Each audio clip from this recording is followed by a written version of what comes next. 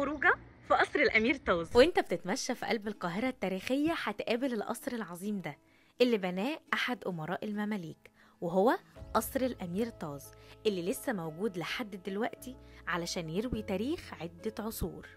قصر الأمير طاز هو القصر المملوكي الوحيد اللي باقي لحد دلوقتي بكامل عناصره المعمارية. سعر تذكرة الدخول 10 جنيه بس والسعر ده شامل دخولك التكية المولوية اللي جنبه. القصر عمره حوالي 700 سنة.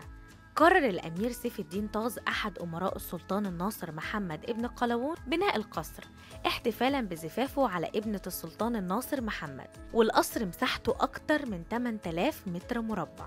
القصر موجود بحالته لكن كل الغرف فاضية بس هتلاقي روح الفن والإبداع في كل مكان. وأشكال مميزة من النجف والأعمدة والشبابيك الموجودة في كل مكان وكمان الكراسي الخشبية اللي كان بيتم استقبال فيها الضيوف زمان. ده غير إنك هتشوف البير الموجود في القصر وفي كل مكان في مصابيح مختلفة.